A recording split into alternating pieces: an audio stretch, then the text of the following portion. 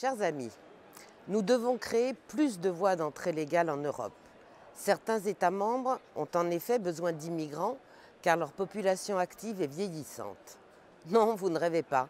Ces propos viennent d'être tenus par Martin Schulz, président socialiste du Parlement européen, qui ne fait qu'exprimer la pensée des partis du système. Les tenants de l'UMPS nous ont habitués à dire exactement l'inverse de ce qu'ils font, mais reconnaissons que pour une fois, ce n'est pas le cas. À travers les déclarations de Martin Schulz, nous voilà clairement prévenus, l'Europe doit subir encore et encore plus d'immigration. Le meilleur exemple en est une fois de plus l'inénarrable Christian Estrosi. Ministre de Chirac et de Sarkozy pendant plus de quatre ans, il est directement complice de leur politique migratoire qui a fait entrer légalement plus de 200 000 nouveaux immigrés chaque année. Mais désormais, candidat à la présidence de la région Provence-Alpes-Côte d'Azur, il joue au gros dur, ayant compris que son concurrent principal est bien le Front National. Et en matière de surenchère verbale, Christian Estrosi ose tout. J'en veux pour preuve ses dernières affirmations. C'est une troisième guerre mondiale qui nous est déclarée aujourd'hui. La civilisation judéo-chrétienne est menacée l'islamo-fascisme, les cinquièmes colonnes et ses réseaux infiltrés dans nos caves et dans nos garages. Comment Christian Estrosi, qui a toujours approuvé la politique d'immigration massive menée par Nicolas Sarkozy, peut-il oser s'exprimer ainsi? Comment le peut-il alors que sous les dix ans de gouvernement Chirac et Sarkozy, l'UMP a laissé entrer légalement plus de 2 millions d'immigrés? Comment le peut-il alors que c'est Nicolas Sarkozy qui a supprimé la double peine?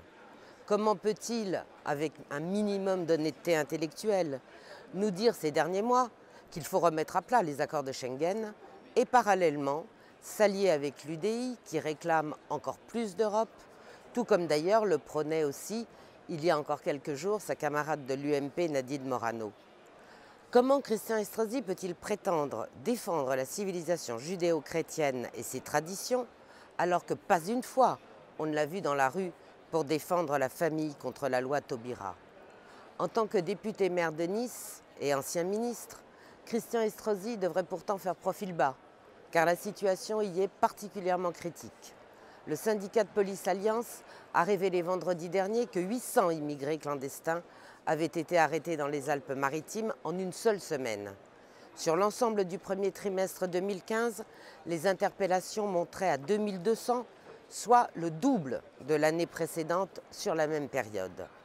Ces chiffres illustrent ce que subissent notre département et singulièrement la ville de Nice, dont la gare est devenue un point de passage pour de très nombreux clandestins, et cela depuis des mois.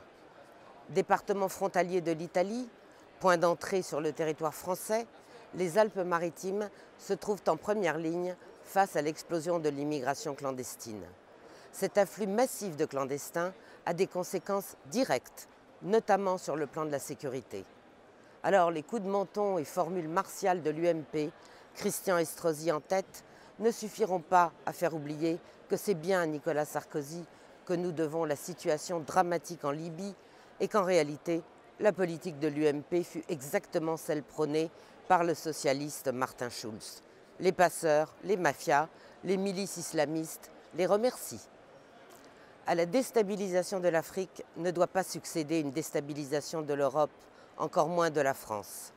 Il est désormais urgent de mettre fin au laxisme en commençant par supprimer toutes les incitations à l'immigration sauvage que constituent les aides sociales dévolues aux clandestins, les rêves de régularisation ou les promesses bien illusoires de sauvetage en mer c'est d'abord en dissuadant par une claire politique de fermeté les départs que les terribles drames actuels seront empêchés.